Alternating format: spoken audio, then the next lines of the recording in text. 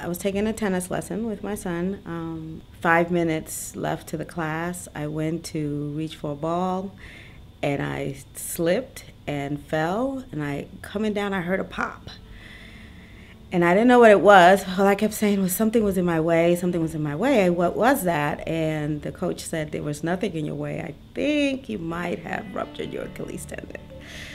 I wasn't able going to be able to walk for a while. I was gonna, probably going to be in a cast for the next two three months. As they said, the, the recovery rate was about two three months. So I, I really was just thinking about that. I did not at all think that I would end up with a blood clot. I started feeling some symptoms of shortness of breath, and I didn't understand what was going on. I had a, a I was dizzy. I was going up the stairs, crawl, kind of crawling up the stairs, and I was dizzy. I went to the restroom. I was washing my hands, and then I was dizzy and fell out.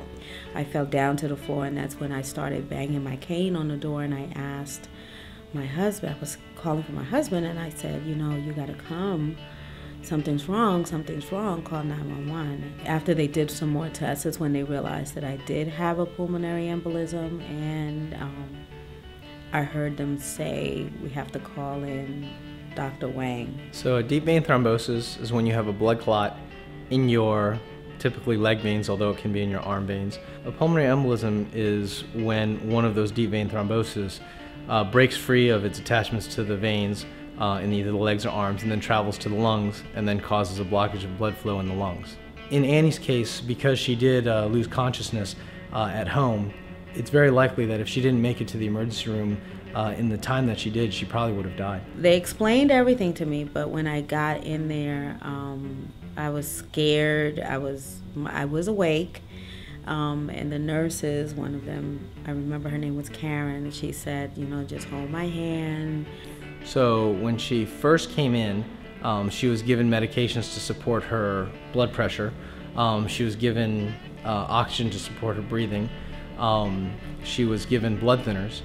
Uh, and those are pretty standard um, treatments that most patients who you know, have this problem receive. At Shady Grove, we can offer uh, actually going into the patient's lungs and removing that blood clot to help their heart pump the blood and circulate the blood through their um, body better. And so what we did in her case is we entered a vein in her neck, put a catheter down into her pulmonary arteries or the blood vessels in her lungs, and uh, gave her some medication to a both melt it out and then also uh, use special devices to extract uh, the clot out as well.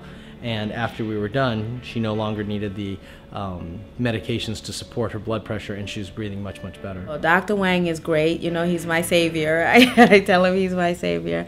Um, one of the things I really do appreciate about him is that he's he's you know he gives you the information that you need. Um, my experience at Shady Grove Hospital has always been really good. They started a group, a DVT support group um, last year, and I did go.